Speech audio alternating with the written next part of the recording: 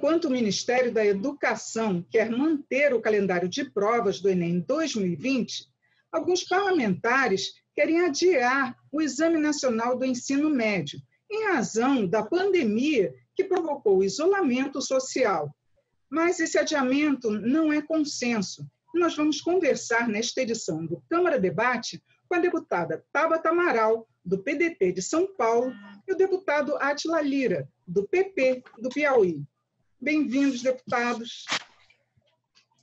Olá, um prazer conversar com você, Regina, e também com meu amigo Atila, é, companheiro lá de Câmara dos Deputados. Bom, deputados, eu agradeço. Eu posso falar? Ah, sim, claro.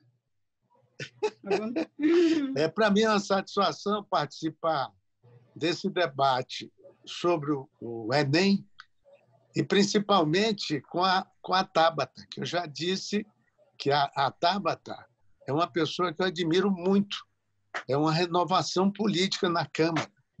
E eu estou aqui para nós conversarmos com você, Regina, sobre essa questão do Enem. O prazer é meu.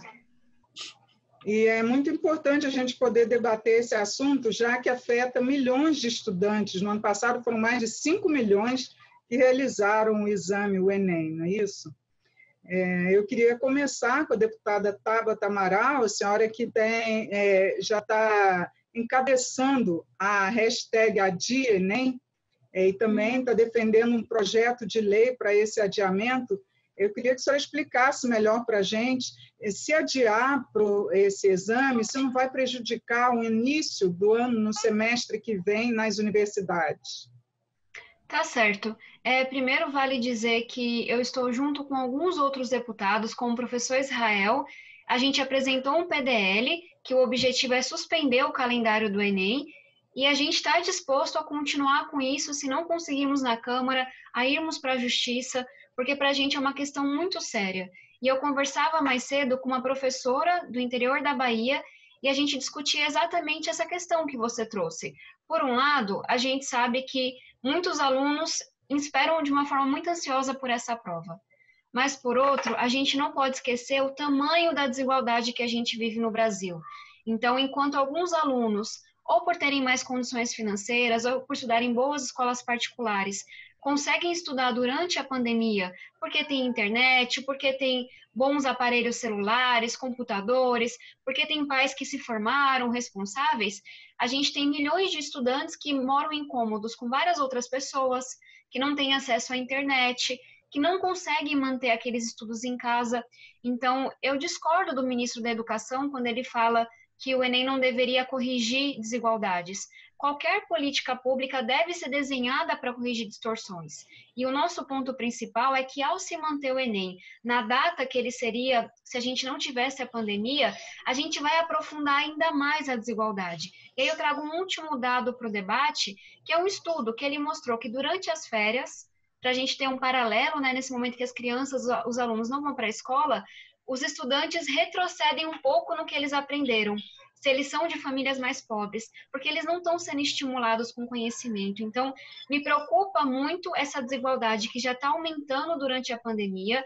Eu entendo que a gente vai ter que fazer um grande, uma nova estruturação de como é que a gente vai fazer para repor as aulas. Talvez a gente tenha que avançar um pouco no próximo ano, mas a nossa proposta é que primeiro a gente garanta que todo mundo vai ter acesso ao conhecimento necessário e que o Enem seja adiado em alguns meses. Estou falando de fazer o Enem não é na metade do ano que vem. É apenas adiar alguns meses para que a gente não deixe nenhum aluno para trás num país que já é muito desigual. Um deputado Atila Lira, é, Posso senhor... falar? Sim, só para lembrar que o senhor é, já atuou na Comissão de Educação, eu queria a sua análise sobre essa possibilidade de adiamento. Eu penso o seguinte: o Enem já começou, o chamado calendário do Enem já começou. O Enem, a Tabata sabe, e todos sabem, que é o maior evento educacional que ocorre durante o ano envolve mais de 5 milhões de alunos, mais 5 milhões de famílias, podemos dizer assim. Ele é pré-aplicado, ele tem uma aplicação, ou seja, etapas complexas, ele envolve uma pós-aplicação, o planejamento operacional do Enem, além de envolver as pessoas que demandam o exame nacional, nós temos um exército de colaboradores liderados pelo MEC e por outras instituições, inclusive o Exército. O Exército é mobilizado nessa operação. Isso já está acontecendo. Eu queria lembrar que as taxas de isenção, por que que está ocorrendo? Os alunos que vão fazer o Enem, que querem fazer o Enem, cerca de 3 milhões e 400, já estão inscritos pedindo a isenção da taxa para fazer o Exame Nacional do Ensino Médio. Agora, essa questão de adiar, esse não é o momento ainda. Nós tínhamos que aguardar o desenrolar dessa pandemia. O governo de São Paulo já vai flexibilizar em 20% a questão da educação. Quando nós chegarmos em agosto, nós já teremos um quadro mais concreto de viabilidade sanitária para que os alunos, para que a gente possa tomar decisão, tomar decisão com o Conselho de, de, de Educação, com o Conselho de Secretários de Educação, com as secretarias municipais de educação, com as instituições de ensino. Nós temos aproximadamente umas 500 instituições federais envolvidas nessa questão e 1.700 escolas particulares. O Enem ele é fundamental para o FIES, ele é fundamental para o ProUni, ele é fundamental para o SESU. Nós não podemos deixar o ano de 2020 como um ano perdido para a educação. E outra, a questão da desigualdade, realmente, nós já temos as cotas é para enfrentar a desigualdade. Metade das vagas Tabata, serão oferecidas para os alunos de escola pública. E o conteúdo de ensino que será oferecido, se der certo, em agosto, ele é revisional como sempre foi. Então, eu creio que em agosto, aí sim, nós podemos ter condições de, num debate mais amplo, se chegar a uma decisão mais adequada para que não prejudique esses milhões de alunos que estão já mobilizados para fazer o vestibular. Agora, é, Portanto, é isso. Eu acho que a, a, o debate em torno de ter ou não ter é válido. Agora, ele já está acontecendo. Nós não podemos paralisá-lo agora, porque senão nós não vamos conseguir depois, se quiser mudar para janeiro ou fevereiro, as etapas que envolvem na criação do Exame Nacional de Ensino Médio, provas, testes, universidades, segurança. Isso tudo poderá se prejudicar. Então, vamos ter calma. Não vamos mais o Congresso é, decidir tudo sem nós amadurecermos melhor esse debate. Deputada Tabata, eu queria, inclusive, que a senhora falasse um pouco do projeto de lei que já está com pedido de urgência é, já que também tem muitos, é, muitos estados e até cidades que estão voltando, estão flexibilizando esse isolamento. É, se não seria prejudicial para alguns setores que já vão estar voltando às aulas? É, eu vou, gostaria de responder a Regina e ao deputado Átila com muito respeito, porque eu acho que a minha resposta tem que ser para o governo. Infelizmente, o governo que a gente tem hoje não é um governo do diálogo. Então, eu entendo a posição do Átila de dizer, vamos esperar acontecer para ver como as coisas vão se dar, só que não é essa a posição do ministro da Educação. O ministro da Educação, por razões ideológicas, vem negando a pandemia do coronavírus, vem querendo criar maior confusão para que as escolas retomem as aulas sem nenhuma segurança diante do vírus. Então, infelizmente, não é isso que está posto. Não é que o ministro disse, vamos conversar em agosto. O ministro falou, o Enem será mantido independente do que aconteça. Então, para dar segurança aos nossos estudantes, nós precisamos suspender esse calendário. E eu só queria falar um pouco de uma forma mais ampla do momento que a gente está vivendo. Infelizmente, Regina, nós não estamos no momento de flexibilizar o isolamento social. Ontem, ontem, não foi há um mês, dois, três meses. Ontem, recorde de mortos em 24 horas. O Brasil sequer chegou no pico do coronavírus. Então, não dá, quando a gente está próximo de 9 mil mortos, somos o epicentro do coronavírus no mundo, para a gente falar em isolamento. A própria Organização Mundial da Saúde colocou seis passos que devem ser tomados por estados, municípios, pelo país, para que a gente possa reabrir. O Brasil não cumpriu nenhum deles. O primeiro é a testagem em massa. Isso não está acontecendo. Então, infelizmente, tudo indica que essa crise vai demorar um pouco no nosso Brasil. E aí, respondendo ao Átila, de novo, com todo respeito, quando a gente desenha uma política pública, a gente às vezes, e eu vejo isso é uma coisa que me incomoda muito na política, coloca a burocracia, o que é conveniente para o gestor, na frente do que é melhor para os estudantes. Eu entendo que muita gente vai ter que se reorganizar. Nós mesmos, quantos planos nós não tínhamos para aprovação do FINDEB no mês passado, para tantas coisas na Câmara e tivemos que nos readaptar. E quem está na ponta, a população, está tendo que se desdobrar muito mais do que a gente. Então, o fato de que alguns gestores, que algumas instituições vão ter que mudar seus planejamentos, terão mais trabalho, não me convence quando do outro lado da balança nós temos estudantes que estão a gente, esse caso que eu ouvi hoje do interior da Bahia, estudantes que sequer tiveram o início de suas aulas por uma série de questões. Então, não é. Eu entendo que vai dar trabalho e estou à disposição para ajudar. Mas, no outro lado, está falando de alunos que estão há meses sem aula, a gente está indo já para o segundo mês, e que vão ser muito prejudicados. Então, eu tenho certeza que a máquina pública tem capacidade de se reorganizar, de mudar um pouco o calendário, de ir se preparando e de e medindo, porque, de novo, não dá para a gente marcar uma data porque sim, quando o próprio MEC ainda não sentou com as redes estaduais e municipais para pensar essa educação durante o período da pandemia, o que é essa educação não presencial. A gente tem casos excelentes acontecendo. Amazonas, Londrina, São Paulo, Pernambuco, casos isolados. O MEC tem que liderar essa educação não presencial, ajudar as redes que mais precisam e tem que definir um novo calendário. Na hora que a gente tiver um calendário e souber, final de dezembro, começo de janeiro, o que seja, os alunos terão recebido o conteúdo que deveriam ter recebido em condições normais, aí a gente tem uma nova data.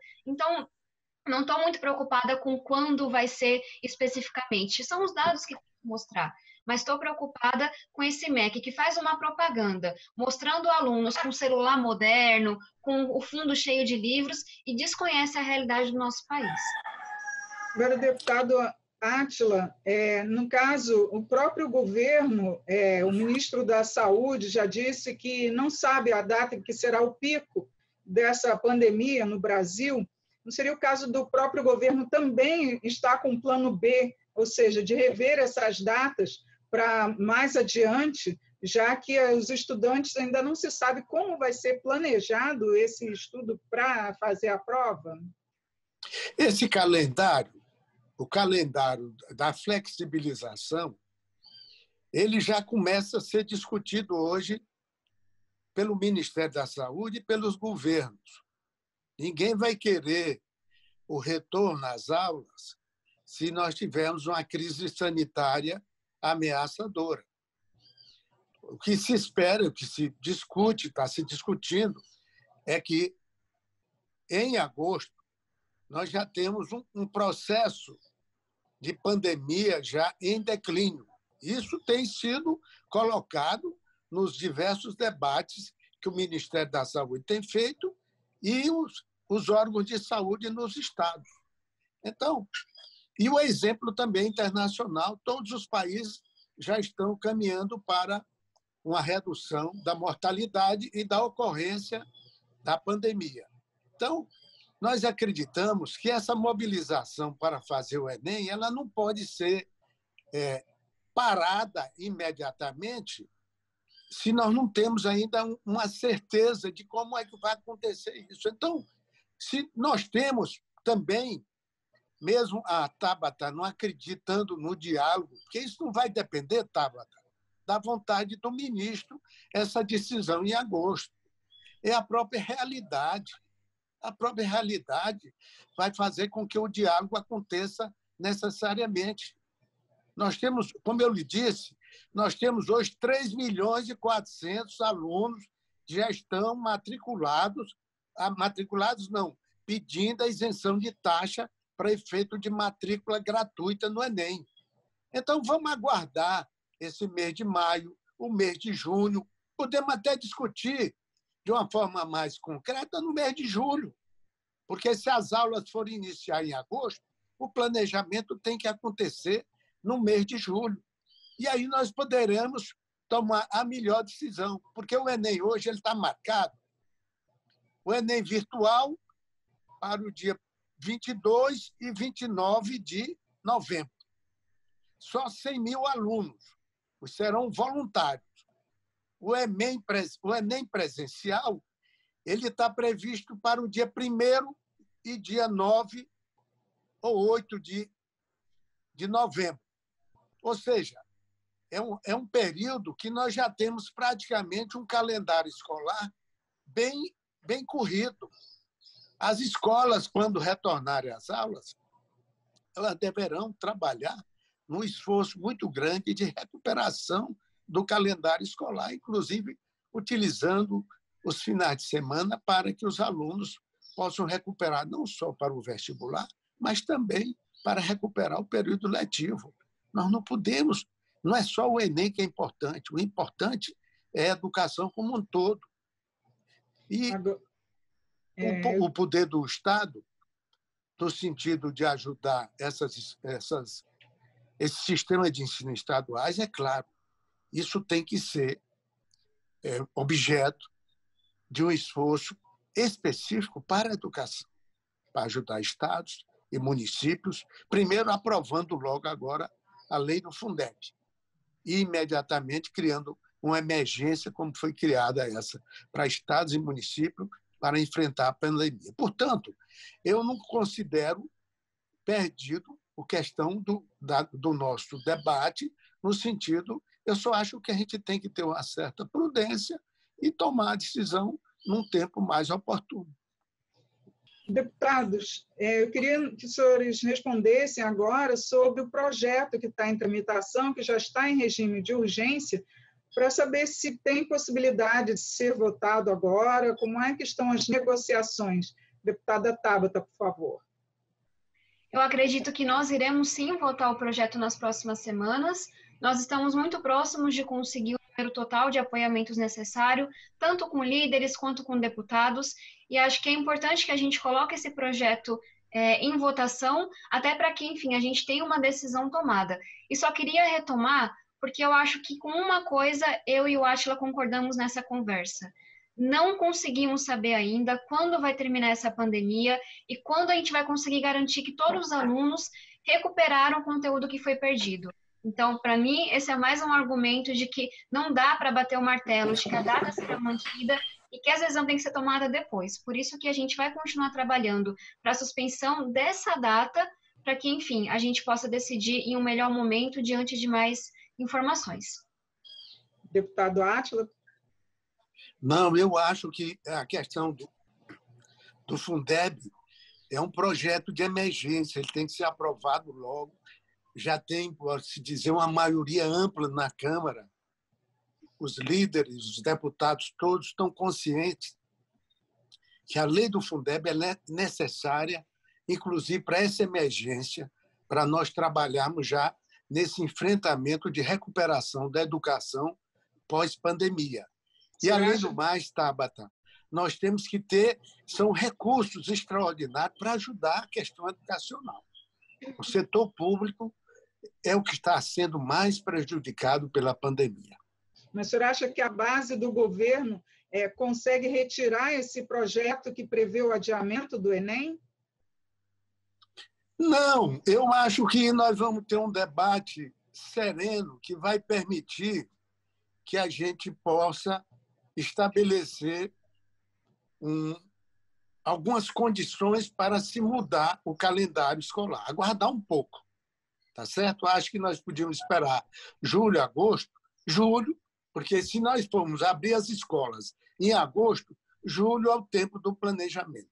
Então, em julho, nós temos condições de saber se o Brasil, todo o interior do, do país, São Paulo, sobretudo São Paulo, e os que estão mais afetados, têm condições de flexibilizar o isolamento social. Eu mesmo estou aqui recolhido, a 58 dias. E só saio dentro da orientação de saúde, de saúde do Ministério e das secretarias de saúde do meu estado e municipal. Deputados, muito obrigada pela participação de vocês, pelos esclarecimentos aqui sobre essa, o adiamento ou não da prova do Enem e que a gente possa continuar esse assunto discutindo outras vezes. Obrigada, Regina. Obrigada, Átila. E até a próxima. Obrigada a todo mundo que nos acompanhou também. Tchau, Tabata. Foi bom conversar com você. Se lembre do Enem para o FIES, para o ProUni, tá certo? Pode deixar. Que Mas e, e, não se preocupe que o ministro realmente é uma pessoa é diferente, mas ele tem um limite. Ele não pode dizer que não dialoga numa circunstância como essa que nós estamos enfrentando, de crise educacional, crise sanitária e uma crise econômica que está fazendo também o povo todo sofrer pelo desemprego. Muito obrigado e meus agradecimentos estar com você, conversando. Tchau, tchau. Obrigada pela audiência. Até a próxima.